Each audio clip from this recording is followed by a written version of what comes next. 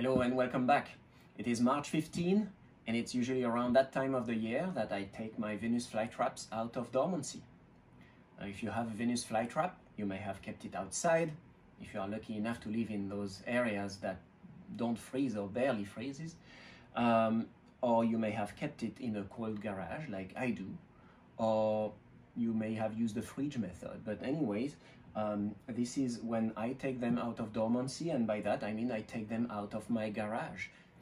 So in this video I wanted to share a little bit what I do when I take them out of dormancy around March um, and uh, whether I repot them or not, how do I make this decision, should I repot or not, uh, because if I want to repot it, after dormancy is the best time for Venus flytraps. Um, so we're going to talk a little bit about the media. If we decide to repot, we have different options. I'm going to go through that. Um, I'm going to tell you what is my favorite option, but other options work as well. Um, and then in case we decide not to repot, uh, what do I do? Now, we are not going to go through an actual repotting. There are lots of videos about that out there on YouTube. Um, but basically when you repot, it's also a good time to make divisions. So the first thing is if you want to divide your fly trap, if, it, if, if it's big enough, um, then you know you probably will have to repot it anyways. Um, but assuming that um, you know you may not necessarily want to divide it, uh, then you don't necessarily have to repot it every year. So there are mainly three uh, rules that I set to myself to know if I should repot it or not. And the first one is just based on time. After three years, the media is not going to be that good, just by experience. For me, in my conditions, the way I treat them. Uh, it may be different for you, but for me, three years is a reference. And if you are a beginner, you, you are new to Venus flytraps, I, I recommend you use that as a reference. Okay, if you if it's been in the same media for three years, I think it's time to repot it.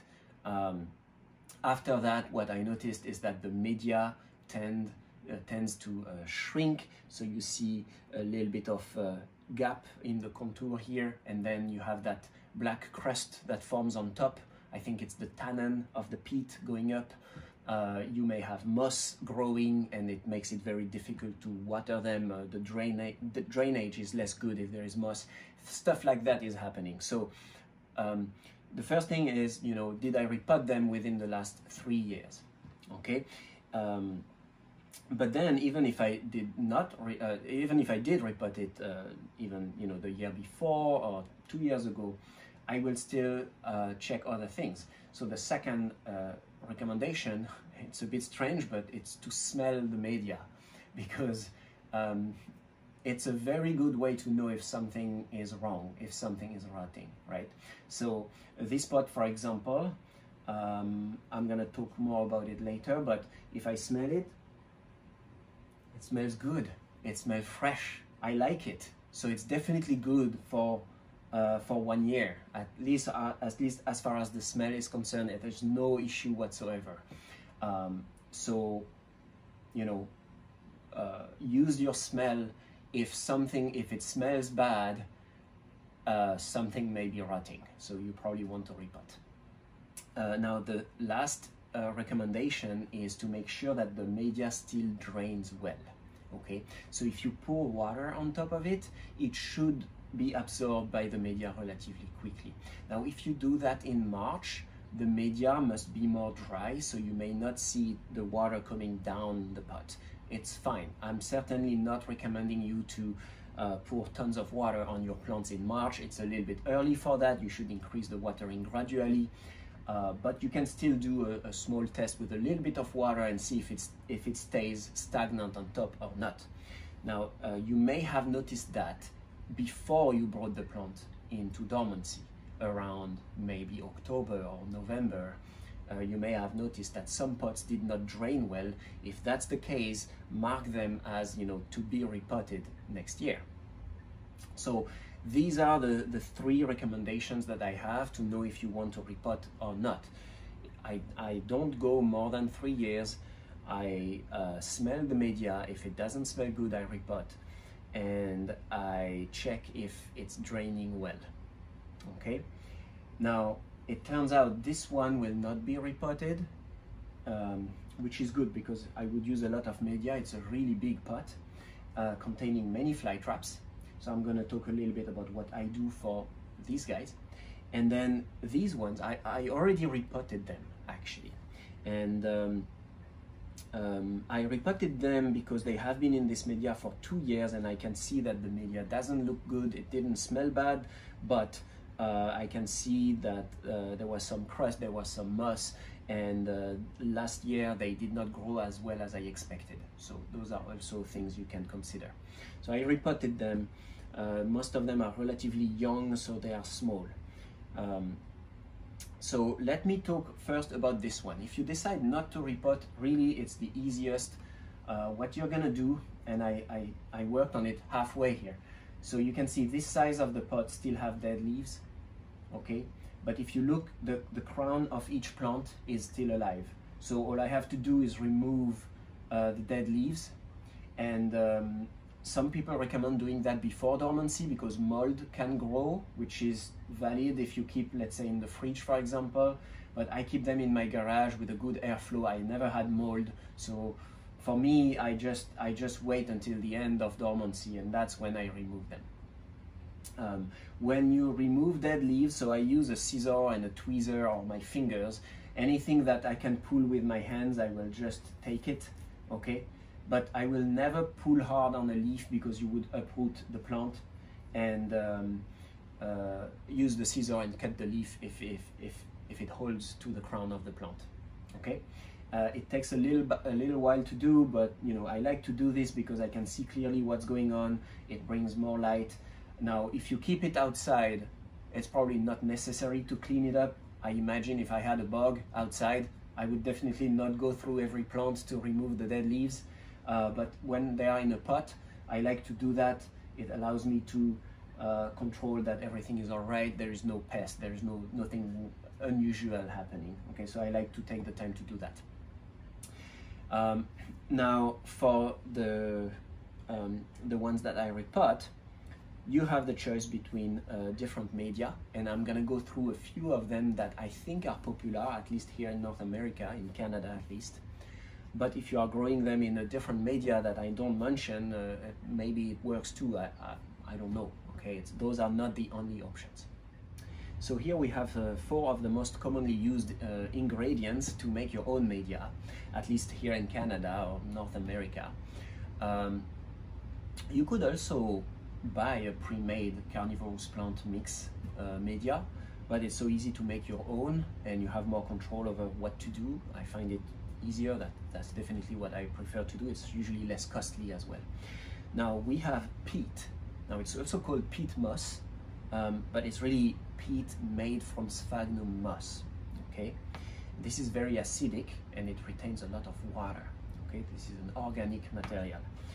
Uh, and then you have long fiber sphagnum moss.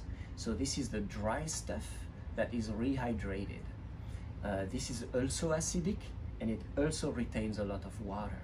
So those two kind of have the same function in your pot, okay? And then you have two coarse material. So this one is a sand. Uh, this is actually aquarium sand. It says pH neutral aquarium sand and I bought it in a fish store for an aquarium. Um, the sand for carnivorous plant needs to be silica based, like quartz, I think would work. Um, and really, it should not contain any salts. Salt is the enemy of any carnivorous plant, so you really need to rinse it uh, many times and make sure that it's it's really clean of any salt. Um, and then finally, we have perlite, very popular here. Um, perlite, I think it's uh, volcanic based, but it's man-made. It's heated at high temperature. I think it's volcanic rock heated at high temperature. So this is very light. So the idea is that you want one material that retains the water, acts like a sponge, like peat or sphagnum, okay, to retain the moisture, and then you want another material that will help with drainage, like sand or perlite, okay? And this principle, as far as I know, applies to any plant right? That's why you will see most uh, cacti or succulents in coarse material. They don't want a lot of water, but a plant like the Venus flytrap, who lives in bugs, uh, likes it in peat or sphagnum. Okay, now we're gonna mix one organic material to retain the water with one coarse material. And the way the, my favorite mix is actually it's actually peat and sand. And this is the most classic mix, the original mix that uh, I learned about many years ago. I think that was the very standard mix for carnivorous plants, Venus flytrap and sundew as well. A mix of 50% peat, 50% sand, approximately. Now, the reason I prefer this over, let's say, this with long fiber sphagnum moss is because when you have a pot full of peat like this one, it's very heavy. There is a lot of material, right? Versus if it's this, it's very lightweight. Lightweight, light, light. It's very light. So I'm really comparing peat to long fiber sphagnum moss here for fly traps and my preference is peat because there is more material and what that means, it means it's a better buffer for drops of temperature and it will protect the roots and the crown of the plant a little bit better in my opinion. You see, I keep my plants in my garage and while the garage is connected to the house so it doesn't really go really low in temperature, um, it reaches zero degrees, so freezing temperature at worst, it can actually go below that when I open my garage door. So if I have my fly traps in a large pot with a lot of material in it, like lots of peat, I find that it protects them a little bit better because it will take a while before the temperature drops inside the pot. So the roots are protected for longer compared to this right? Now, I did not see any difference in growing habits, flowering, size, size of traps, or growth speed, or anything between the two. Okay, because I've grown fly traps in, in each, and I, I didn't see any difference. It's just for dormancy. I think this is a little bit safer because it's a it's a bigger um, um, there is more material. Okay, so it's a it's a better buffer uh, to resist drops of temperatures. Okay, um, now the reason I prefer to use sand over perlite is because perlite has that tendency to go up uh, as when you water, especially for plants that like a lot of water, like the Venus flytrap. The perlite goes back on top of the pot, and if it's not that I mind having the perlite on top, but if it's on top, it's not inside. So if it's not inside, it's not improving the drainage inside. So sand is much better, it's more, more stable, it will stay where it is. So that's my favorite mix, even though sand may be more expensive than perlite, I think, in most areas. Um, so yeah, that's what I use for all my fly traps, but I have grown them in pure sphagnum, sphagnum and perlite, uh, peat and perlite. Yeah, so all of that works, but for dormancy, I prefer this mix, peat and sand. That's pretty much it. Um, let me show you a close-up of the plants.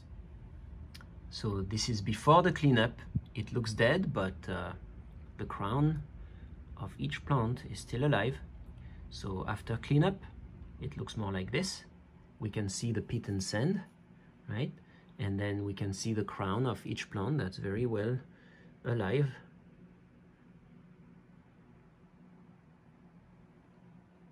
Okay, so that's for the one I am not going to repot. And then the ones I just repotted, uh, some of them are very small. Um, so they are not looking great at this point, but I'm hoping they will grow well this year.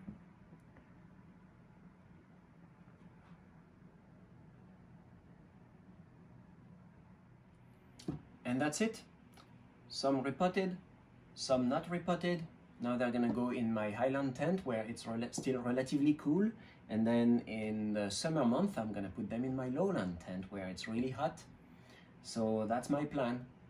Um, this guy goes outside sometimes as well uh, because the summer month here in Canada, in Ontario, is uh, they are really hot and sunny.